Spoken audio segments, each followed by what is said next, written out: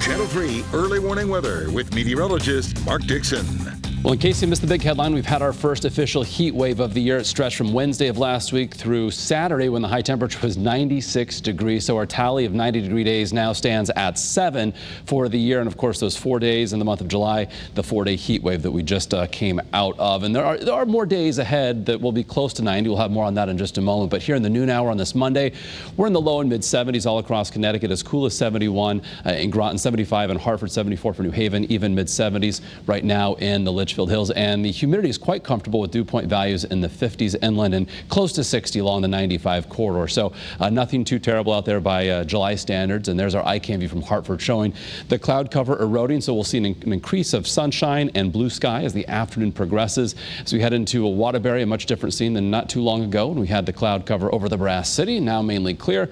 A lot of bright sunshine reaching the UConn campus there in Storrs and also into a New Haven. The clearing trend underway. You can see at least toward the distance there. Uh, some breaks in the cloud. So uh, high temperatures this afternoon, depending upon how much sunshine we see, but they should top out in the lower 80s along the coastline and a little bit warmer farther inland with a fairly light and variable wind, a bit of an afternoon sea breeze developing. And you can see the wet weather this morning that clipped, just skirted southwestern Connecticut, continues moving offshore, and with that, the cloud cover is eroding as high pressure uh, is building in. That will set the stage for a couple of the nice days, but uh, ones that will also trend warmer and as well eventually muggier. But high pressure will certainly uh, keep us uh, dry for the next couple of days. So futurecast showing the decreasing cloud cover, mainly clear skies this afternoon, mainly clear as we head through the evening into the overnight hours. So our Tuesday tomorrow starts off with ample sunshine, and as the clock moves forward in time tomorrow, not much happening. Again, a, a mainly sunny day on tap throughout the state tomorrow. So uh, temperatures for tomorrow